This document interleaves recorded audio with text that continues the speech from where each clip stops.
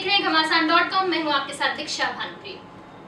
भाजपा की ये सुंदर प्रवक्ता Guinness book of world record में दर्ज करा चुकी है अपना नाम।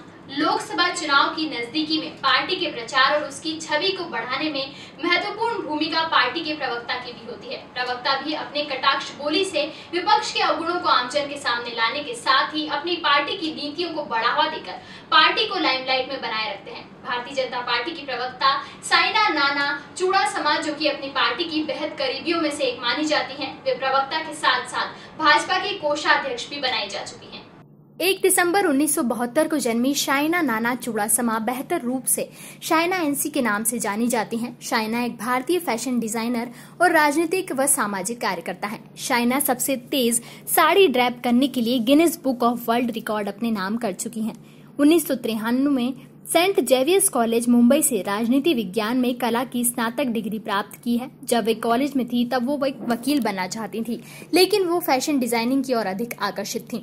स्नातक स्तर की पढ़ाई के बाद उन्होंने fashion institute of technology New York से फ़ैशन डिज़ाइनिंग में एसोसिएट डिग्री ली। शाइना की शादी मनीष मुनोद से हुई। वे पहली बार उनसे तब मिली जब वो तेरह वर्ष की थी और छह साल डेटिंग करने के बाद तेईस साल की उम्र में उनसे शादी कर ली।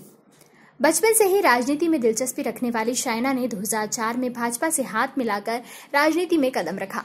2004 में शाइना ने बांद्रा विधानसभा क्षेत्र की सीट के लिए भारतीय राष्ट्रीय कांग्रेस के बाबा सिद्दीकी के खिलाफ चुनाव लड़ा, लेकिन वो हार गईं। उन्हें फरवरी 2007 में मुंबई शहर के लिए भाजपा का प्रवक्ता नियुक्त किया गया। 2008 में वे महाराष्ट्र राज्य में भाजपा की प्रवक्ता बनी।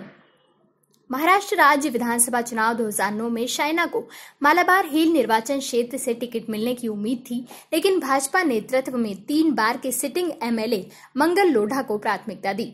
मार्च 2010 में वे भाजपा की राष्ट्रीय कार्यकारी परिषद की सदस्य बनी। अप्रैल 2013 में वे भाजपा की राष्ट्रीय प्रवक्ता बनी और पार्टी की ओर से टेलीविज़न बहस में भाग लेने के लिए प्रवक्ताओं के पैनल में शामिल थी। मई 2013 में शाइना को भाजपा की महाराष्ट्र इकाई का कोषाध्यक्ष नियुक्त किया गया। उसके बाद जून 2015 में उन्हें दूसरे कार्यकाल के लिए भाजपा महाराष्ट्र का कोषाध्यक्ष नियुक्त किया गया। Subscribe our channel and press the bell icon for more updates.